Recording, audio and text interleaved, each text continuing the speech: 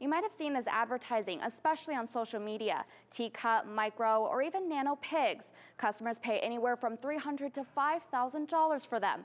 But there are complaints that pigs outgrow those promises. Come here, pork chop.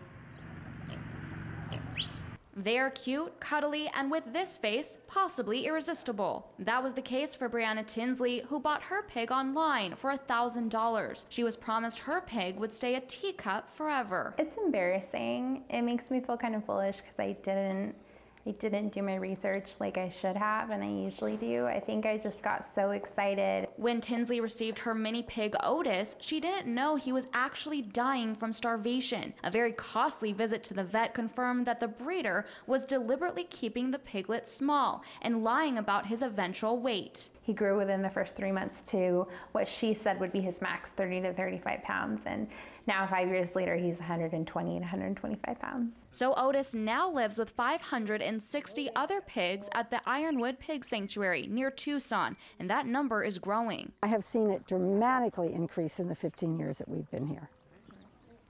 And uh, we, we used to be able to keep up with it. We can't anymore.